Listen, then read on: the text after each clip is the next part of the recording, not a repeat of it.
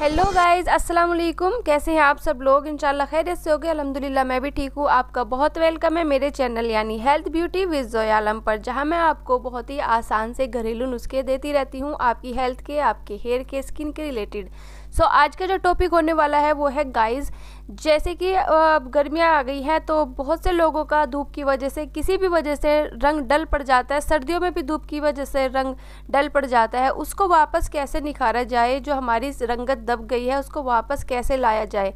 उसके लिए एक बहुत ही आम सी चीज़ से बनने वाली आज आपके साथ फेस मास्क शेयर करूँगी, जो कि आपकी स्किन को ब्राइट करेगा, आपके जो ब्लैमिशेस है चेहरे पर किसी भी तरीके के दाग धब्बे उनको दूर करेगा, आपकी स्किन को बराबर एक जैसा मतलब बनाएगा, एक जैसी रंगत आएगी आपके चेहरे पर, और आपका जो पीएच बैलेंस है, आपके स्किन का उसको भी बैलेंस करेगा, पीएच लेवल को भी बैलेंस करेगा।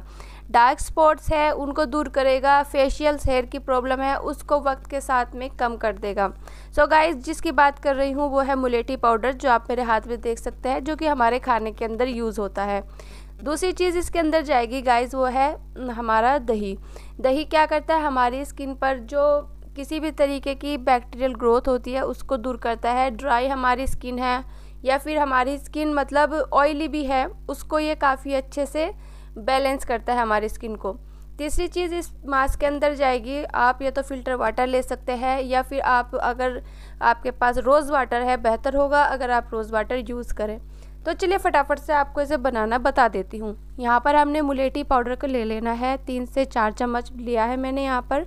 जो हमारे नेक पर और हमारे फेस पर अच्छे से कवर हो जाए, या जिस एरिया पर भी अंडर आर्म्स पर नी पर, या फिर आप, आपके घुटनों पर कालापन आ गया है, उस चीज़ को दूर करने के लिए भी आप ये वाला पैक इस्तेमाल कर सकते हैं।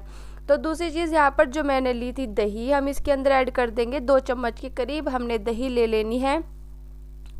और इसके अंदर फिर जो हमने रोज़ वाटर लिया है या फिर फ़िल्टर वाटर लिया है, उससे हम इसको पैक को एक स्मूथ सा टेक्सचर देंगे, जिससे कि एक पैक की कंसिस्टेंसी में आए और अच्छे से अप्लाई हो सके हमारे स्किन पर। ठीक है? तो इन तीनों ही चीज़ों को हमने एक कटोरे के अंदर डालकर अच्छे से इनको मिक्स कर लेना है।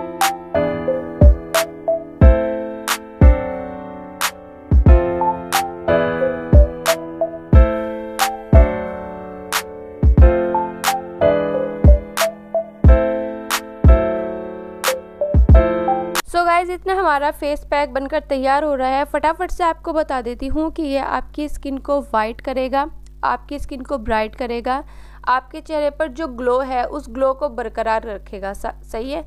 आपकी स्किन पर अगर दाग धब्बे हैं या फिर किसी भी तरीके की आपके पिंपल्स है, दाने हैं, उनको ये काफ़ी हद तक ठीक करेगा। तो इसको लगाना कैसे है वो बता देती हूँ। सबसे पहले आपको अपने चेहरे को, अपनी स्किन को जहाँ भी आपको लगाना है। इवन आप मैंने जैसे बताया, आप इन्हें अपने अंडर आर्म्स या फिर अपने जो कोहनी होती है, घुटने होते हैं, वहाँ पर भी इसको अप्लाई कर सकते हैं डार्कनेस को दूर करने के लिए। तो आपको पहले वो स्किन को साफ़ कर लेना है। उसके बाद में आप ये पैक वहाँ पर अप्लाई कर लेंगे। उसके बाद अप्लाई करने के आपको दो तीन मिनट तक वहाँ पर मसाज करनी है सर्कुलर मोशन में। और आफ्टर देन आप उसे ड्राई होने के लिए छोड़ दीजिए। उसके बाद आपको इसे वॉश कर लेना है सिंपल नॉर्मल वाटर से। अच्छा बात आती है कि आपको इसे कब लगाना है।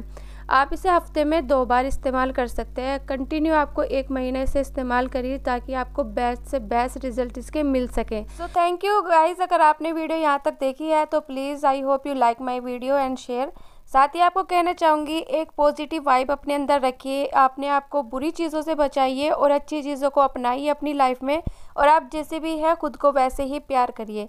अपनी स्किन का, अपनी हेल्थ का बहुत ज़्यादा ख्याल रखिएगा। इसी उम्मीद के साथ में मैं उम्मीद करती हूँ आप मेरे चैनल को सब्सक्राइब करेंगे। And thank you so much बने रहने के लिए। अल्लाह हाफिज़। Take care and bye bye